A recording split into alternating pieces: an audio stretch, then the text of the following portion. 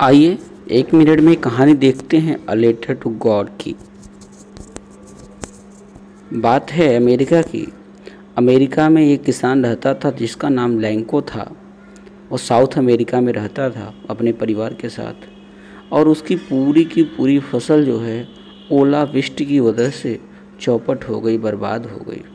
वह परेशान था। उसने भगवान को एक पत्र लिखा और पैसे मांगे सहायता मांगी भगवान मेरी सहायता कीजिए और जाकर के पत्र को पोस्ट ऑफ़िस में डालाया। पहले तो, तो जब पोस्ट मास्टर ने पत्र को देखा तो वह हंसा लेकिन बाद में वह सीरियस हो गया जब उसने पत्र को पढ़ा और वहाँ से उसने निर्णय लिया उसका जवाब देने का। और पैसे चाहिए थे तो पैसे उसने अपने मित्रों से लिए और इसके बाद पत्र में पैसा रख करके उसने पोस्ट कर दिया किसान को। किसान ने जब पत्र खोला तो उसमें पैसे जो काउंट किए तो उसमें जितना पैसा मांगा था, उससे वो कम थे।